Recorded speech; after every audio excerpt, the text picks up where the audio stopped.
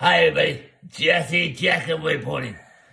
My guest today, the Viper, and future U.S. champ, Randy Orton. Hey, hey, hey! Welcome, Jackhammer Nation!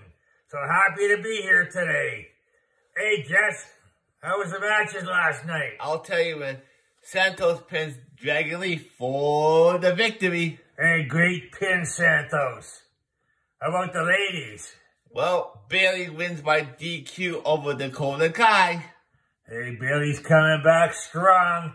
Hey, Randy, I heard you hit an RKO last night. You got that right, Jesse. I took down that Grayson Waller with a great RKO. You better watch out. Next time it's going to be worse.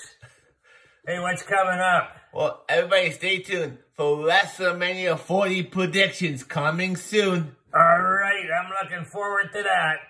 Have me back again. I will, Randy. Bye for now. Bye for now.